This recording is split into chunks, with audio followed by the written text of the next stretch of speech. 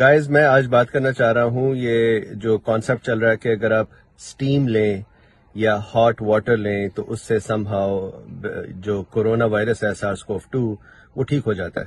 تو دیکھیے، بات سنیے۔ کورونا وائرس ٹالریٹ کرتا ہے ہیٹ 56 ڈگری سینٹی گریڈ تک۔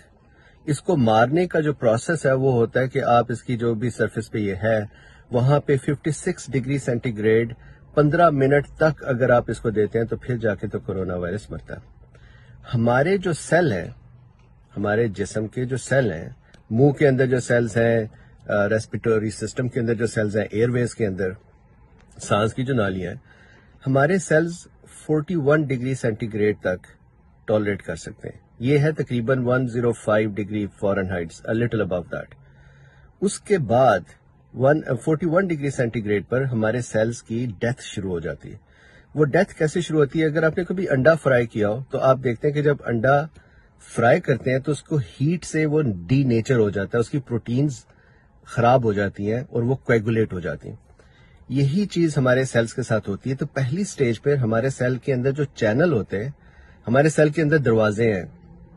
ان دروازوں سے چیزیں اندر جاتی ہیں، جیسے گلوکوز اندر جاتا ہے سوڈیم اندر جاتا ہے بہت ساری چیزیں جو اس میں اندر لے کے جائی جاتی ہیں یا چیزیں اس سے باہر آتی ہیں۔ ایسے ہی جیسے آپ کے گھروں میں دروازے اور کھڑکیاں تو پہلی سٹیج پر 41 ڈگری سینٹی گریڈ کے اوپر ہمارے سیلز کے چینل، ان کو چینل کہتے ہیں، دروازے یہ کام کرنا بند کر دیتے ہیں۔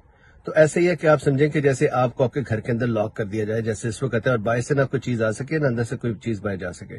تو نہ کھانا آئے گا اور نہ جو ویسٹ پروڈکٹ ہے وہ باہر جائے گی، تو ایسا ایسا کچھ دنوں بعد جو اس کے اندر رہنے والے ہیں وہ مر جائیں گے۔ تو ایک تو یہ نقصان ہوتا ہے۔ دوسرا، اس کے بعد 41 ڈگری سینٹی گریڈ کے اوپر سیل کے اندر جو اینزائم ہے، جو کام کر رہے ہیں سیل کا فنکشن کر رہے ہیں، وہ خراب ہونا شروع ہو جاتے ہیں اس ہیٹ پر۔ تیسرا یہ ہے کہ سیل کے اندر ہوتی ہیں ہیٹ شاک پروٹینز۔ آپ سب میڈیکل اسٹوڈینٹس آپ کو اس بات کا پتا ہے۔ ہیٹ شاک پروٹین کا کام ہوتا ہے کہ سیل کو اگر ہیٹ سے ڈیمیج ہو رہا ہے تو وہ ان پروٹینز کو جو خراب ہو رہی ہیں انہیں ٹھیک کرنے کی کوشش کرتی ہیں۔ ہیٹ شاک پروٹین، جب ان پروٹینز کو جو آپ ہائی ہیٹ دے کے ان پروٹین کو خراب کر رہے ہیں، جب یہ ان کو صحیح نہیں کر سکتی تو یہ سیل کو حکم دیتی ہیں کہ تم مر جاؤ۔ اپاپٹوسس کروا دیتی ہیں، اس کی سوئسائڈ کروا دیتی ہیں۔ سیل کے باہر بھی ہیٹ شاک پروٹینز بیٹھی ہوتی ہیں۔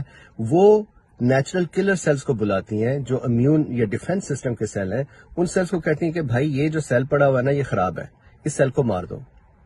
سو so, جو کنکلوژن ہے وہ یہ ہے کہ 41 ڈگری سینٹی گریڈ کے اوپر ہمارے سیل مرنے شروع ہو جاتے ہیں۔ اب وائرس کو چاہیے 56 ڈگری سینٹی گریڈ آپ 41 ڈگری سینٹی گریڈ کے اگر لیں کوئی فلوئڈس یا اس سے زیادہ کے تو سیل یوں کر کے مرنا شروع ہوں گے کہ پورا منہ جل جائے گا۔ اور اس کے بعد ساری سانس کی نالیاں اگر آپ وہ ہیٹ دیتے ہیں، مجھے کوئی کہنے لگا جی ہیٹ دیں گے سٹیم دیں گے اور ایون وینٹیلیٹر میں سٹیم دے دیں گے۔ حد ہوتی یار ایسی بے وقوفیوں کی۔ وہ جو سٹیم جائے گی، وہ سارے کا سارا ایئر ویز کو، نالیوں کو، سانس کی نالیوں کو تباہ کر دے گی۔ جب وہ تباہ کر دے گی تو that itself is acute respiratory distress syndrome کہ سارا جب جل گیا سسٹم نالیوں کا، تو وہ کام کیسے کریں گی؟ گیس ایکسچینج کیسے ہوگا؟ ساری وہاں پہ زخمی ہو کے بلڈ آ جائے گا، وہاں پہ انفلیمیشن آ جائے گی اور سانس لینا مشکل۔ تو وائرس نے تو مارنا یا نہیں مارنا وہ ہیٹ سے مر جائیں گے۔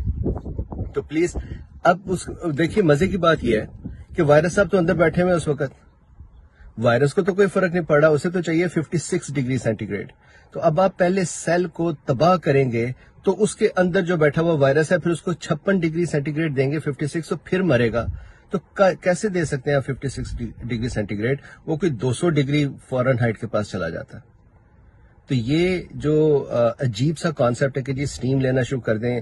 مجھے کسی نے کہا جی ہارٹ فلوئڈ وہ ایک وہ فضول سی پوسٹ لگی ہوئی ہے کہ ہارٹ فلوئڈ آپ لیں اور اس کو واش کر کے اسٹمک میں لے جائیں۔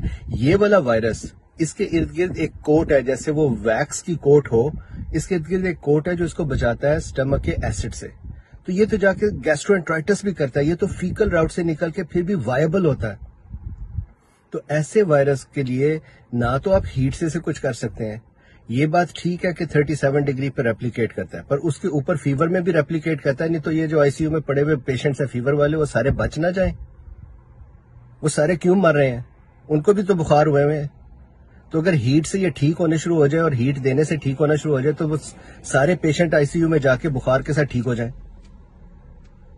تو آپ 41 ڈگری سینٹی گریڈ سے اوپر دے نہیں سکتے۔ اس کو چاہیے 56 ڈگری سینٹی گریڈ پندرہ منٹ کے لیے مسلسل۔ تو اتنی دیر میں تو پورا جسم جلا دیں گے آپ۔ تو یہ جو فضول سا کانسیپٹ ہے پلیز اس کو نہ نہ اس کے پیچھے فالو کریں۔ سٹیم سے کچھ نہیں ہونا ہاٹ فلوئڈ سے کچھ نہیں ہونا۔ اور اپنے آپ کو زخمی نہ کر لیں، اپنے آپ کو اکیوٹ ریسپیٹوری ڈسٹریس سنڈروم کر کے نئی مصیبت نہ ڈالیں۔ Thank you very much